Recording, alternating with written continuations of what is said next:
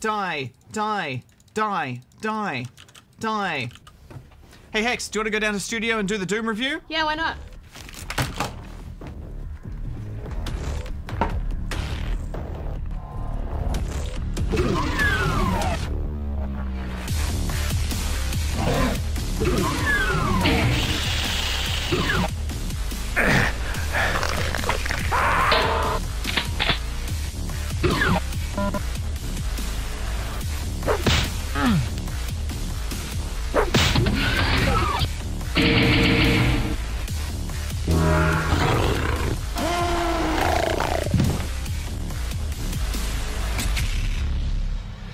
If Wolfenstein is the granddaddy of first person shooters, then Doom is the dad. And daddy's back, baby. I think we can work together in a way that benefits us both. Demonic presence at unsafe level.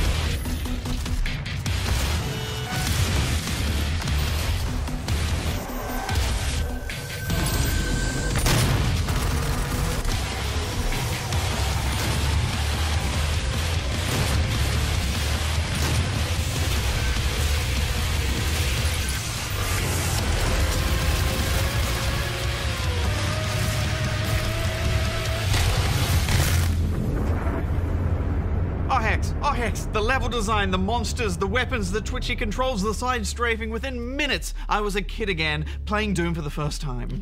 Yeah, I mean, it has been about 12 years since Doom 3 came out, which in video game years is like forever ago. so, of course, they've done the only responsible thing they can do when they haven't released a game in a long time. They've done a good old fashioned reboot, and you can tell it's a reboot because it doesn't have a number at the end of the name.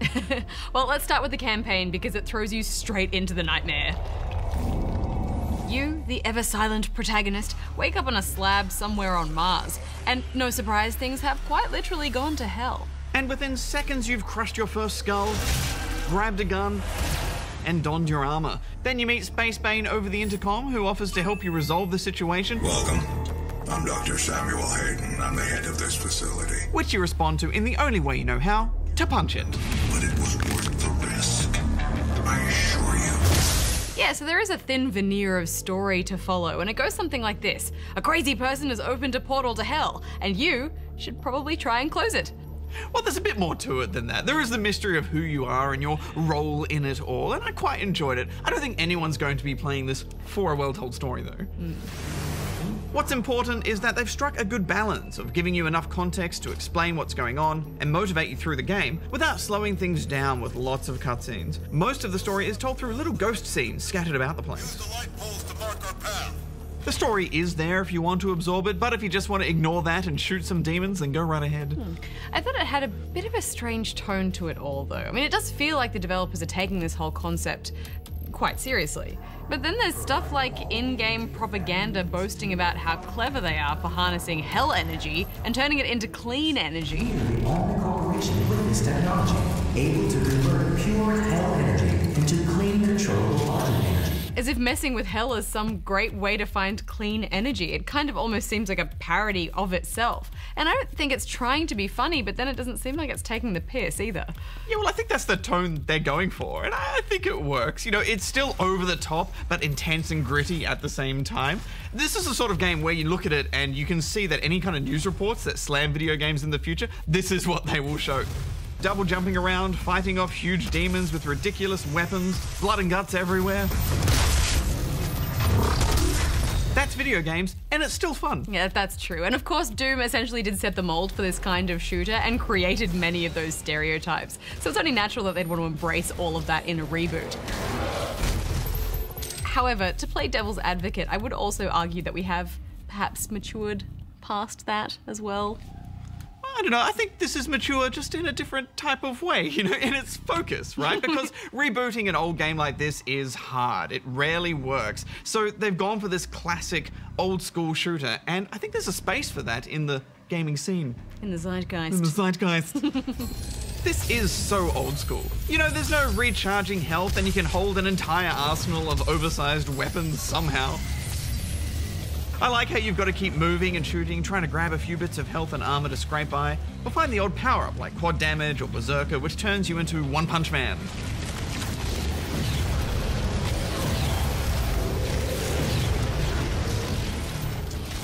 And they give you just the right amount of ammo, so you're forced to switch weapons to mix up the action. And this game is just so smooth. It's so fast. Mm, I mean, it couldn't help but feel a little bit repetitive after a while for me. Firefights always follow the same formula. Small demons spawn in, then some bigger ones, and then a few even bigger ones, and then some more big ones. And a lot of those bigger demons are quite bullet spongy, so it can get a bit exhausting fighting them off. Yeah, but you know, it's all on purpose, right? This isn't like the Wolfenstein reboot where they really focused on storytelling and characters and they absolutely nailed that. Here, they've chosen to embrace the old school. And, and I get if you don't have the nostalgic connection to it, it's not going to be for everyone. Also, there's a much broader set of enemies than most shooters, each with their own weaknesses and tactics to consider. Levels are well designed with lots of different paths to take and secrets to find.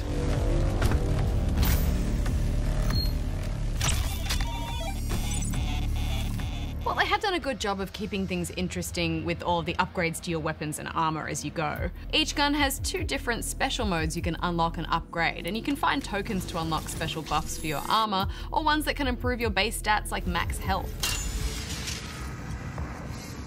It's just small tweaks to that Doom formula that give you a bit more to do. And the drip feed of weapons is good too, so by the time you get to a room full of tough demons and you don't feel like picking them off one by one, just get out the BFG.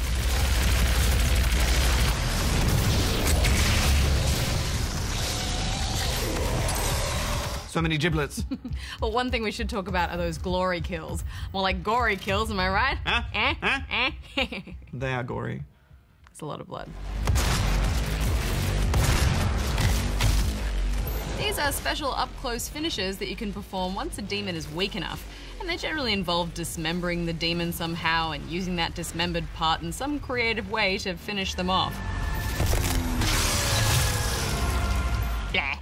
Yeah, it's so over the top gory that by the time you've chainsawed your fourth demon in half and seen all the bits, it just loses impact a bit and becomes ridiculous.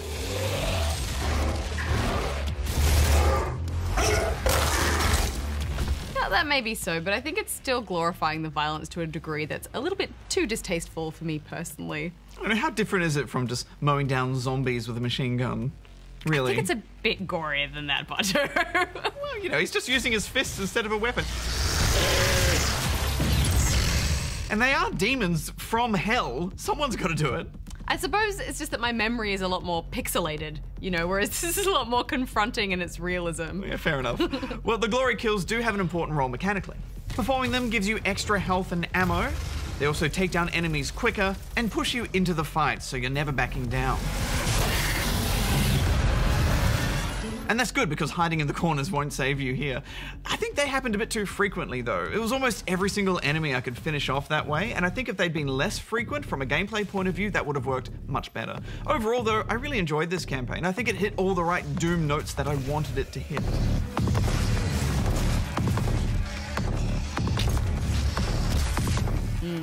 Did you go hunting in the levels for secrets? Oh, a little bit. They're hard to find. These are big levels and a bit confusing in an old school kind of way.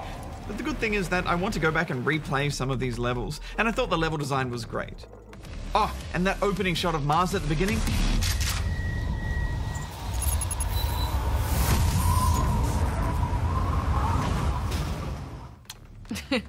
Let's move on to the multiplayer, which, you know, got savaged by people during the beta, didn't it? Yeah, that's pretty standard for a beta though. But I think people were looking for that, you know, old school Twitch arena shooter from the days of yore, and it's not really that. There's a lot of modern touches that might not sit well with old school fans. Yeah, like how weapons don't spawn into the map and instead everyone just picks loadouts to spawn with. Or the fact that rocket jumping isn't really very effective. Or that rockets aren't that effective, full stop. Somewhat minor things for some, but disappointing for fans. I'm not sure if I actually like this multiplayer overall, Hex. Firstly, there's no server list, it's all matchmaking, that always makes me sad. And secondly, where's my free for all mode? It's all team based. Well, they have said they're going to be adding more playlists and modes in the future, so. the future is in the future. What about now? I want to play Arena now. And chase those frags, Hex. but,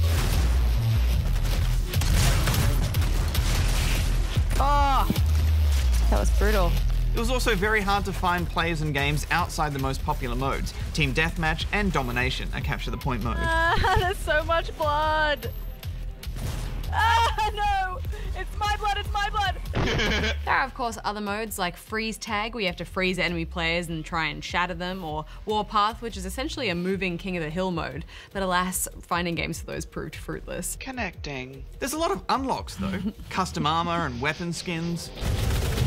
Oh, watch out for like the guy who looks like a giant monster. And you can also unlock these crazy giant demons, which you can pick up as power-ups in some of the modes.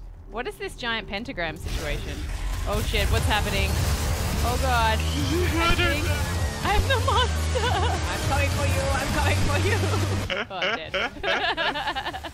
They're so much fun. But the most important unlock, in my opinion, is the taunts. and my favorite is the Carlton. His gestures. It's the Carlton. There's also a third chunk of the game called Snap Map, which sounds like something you'd find in a Pokemon game. But it's similar to something like Halo's Forge mode, where you can build your own maps. It's a touch more user friendly than Forge, though, with a few convenient views to choose from and simple to use chunks that snap together easily, hence the name. It's also more versatile than Forge mode, letting you place AI and triggers and such, create your own single player or co op levels, as well as multiplayer modes.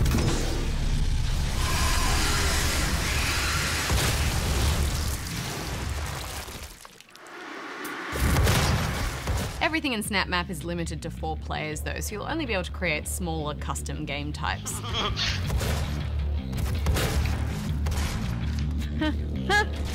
you just kicked me!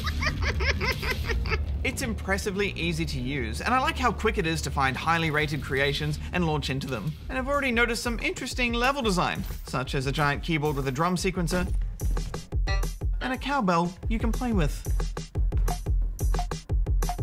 Why not? Final thoughts? Well, look, this was never going to be the kind of game that I was going to fall in love with, but I like where their heads were at. I'm giving it 3 out of 5 stars.